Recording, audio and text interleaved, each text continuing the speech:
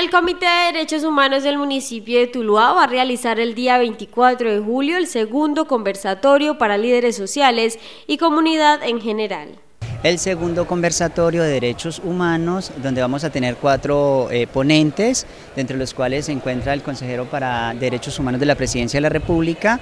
y esto se va a hacer eh, también invitando a todos los promotores y defensores de derechos humanos. Recordemos que ahora el país a nivel nacional vive un flagelo con el asesinato de los líderes sociales, entonces de esto se trata este conversatorio, también de activar todas las, eh, digamos, alarmas preventivas en el municipio de Tuluá para salvaguardar los derechos de estas personas. Las personas que deseen participar de este evento que busca promover y divulgar los derechos humanos deben realizar una inscripción. Toda la información la obtienen en la Oficina de Gobierno de Tuluá. Más o menos está proyectado para unas 100 personas, ya se está haciendo las respectivas, digamos, invitaciones y se va a dar un lead donde las personas se pueden inscribir o en su defecto eh, acá en la Secretaría de Gobierno con la doctora Luz Amanda Jaramillo, que es la coordinadora municipal del Comité de Derechos Humanos, quien es la encargada y la promotora de este eh, segundo conversatorio de derechos humanos acá en Tuluá. El funcionario hace la invitación a la comunidad para que asista a este evento y conozca sobre los derechos que como persona tenemos en el campo laboral